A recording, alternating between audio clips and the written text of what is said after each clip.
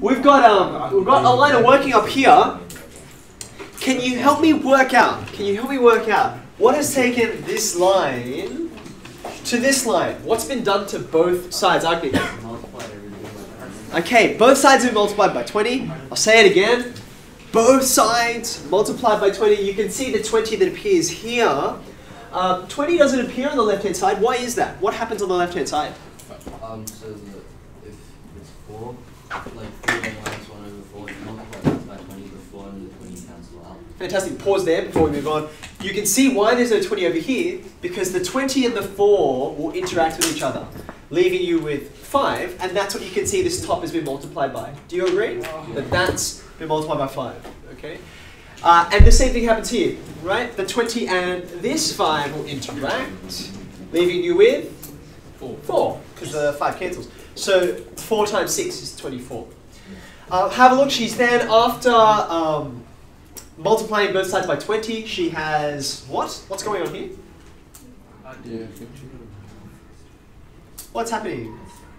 A few things have shifted around, right? But there's one phrase which captures all of them. Thank you, she's collected like terms. Simplify. Uh, get, get out of my class.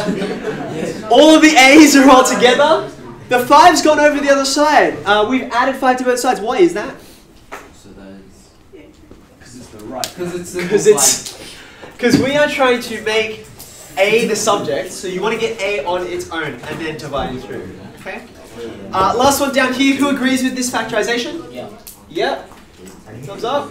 Yeah. Um, you can see Laura helpfully has written down sum to indicate the significance of the negative 3 and product to indicate the significance of the negative 28. And sure enough, negative 7 and positive 4, they do the job. Wonderful. So rule that off. if you haven't already, you can write the questions that we're going to be doing in 702 today. And the heading is solving quadratic equations. Right.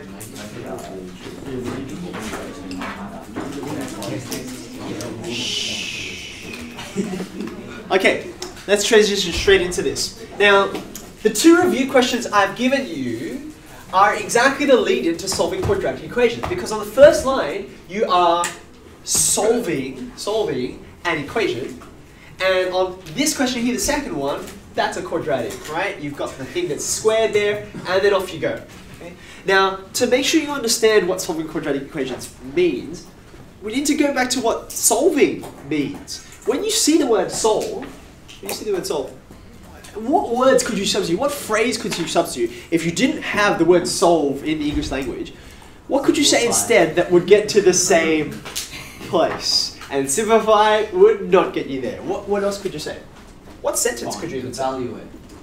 Evaluate is an interesting one. Evaluate means find the value of, but evaluate what? Like you can't evaluate an equation. You have to evaluate an expression. What are you trying to evaluate? Suppose you're trying to evaluate the pronumeral. That's one thing you could do. Evaluate the pronumeral would be a reasonable synonym. Is there anything else we could say?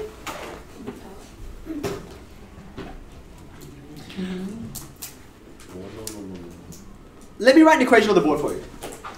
It's an equation you've seen from earlier this year when we um, were looking at perfect squares. See this equation here, right? This equation is really special because no matter what numbers you put in for A and B, you can make them 1 and 5 or 3 and 100 or negative pi and 8 million. No matter what numbers you put in, this statement will be true. Okay? But this statement up here, this equation, is not always true. It's only true sometimes. It's only true when A is a particular value. And that's what solve actually means. Solve means find solutions. But find solutions. Like, what are solutions? Solutions are values for pronumerals, like like A, right? Values for pronumerals. Ooh, that's a U. That. Now, what do we want? We want this equation to be true, right? So they make the equation true. Some equations aren't true. You can write an equation that isn't true. For example, this is an equation that's not true, right? But we want to make this equation true rather than this one. Uh, our fancy technical way of saying that, make the equation true, because that's a bit colloquial, is we say that that is called satisfying the equation. Satisfying without the equal. Okay, so let me just review, right? If you get asked to solve, what you try and find is a solution, or many solutions, as the case may be. What are solutions? It's a equals something, or x equals something that satisfies the equation, makes it work. Okay? Now, please note, have a look at question two that you did five minutes ago. You cannot solve this. Solve doesn't make sense as a verb to go along with this expression because it's not an equation. Do you notice that? Like, how do I know it's not an equation? There are no equal signs. It's not equal to zero, it's not equal to five, it's not equal to a pineapple, it's not equal to anything. So, there's nothing that can make that true, right? Um, so therefore, you can't solve something like that.